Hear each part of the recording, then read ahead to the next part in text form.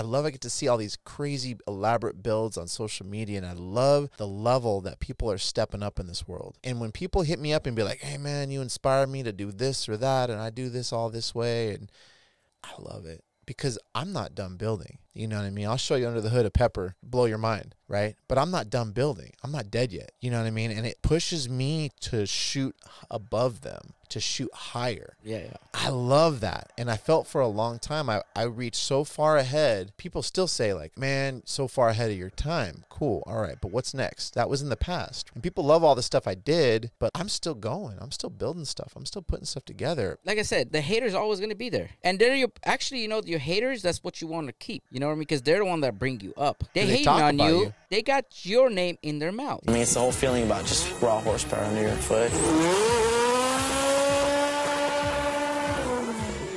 It's beautiful. It's a beautiful thing.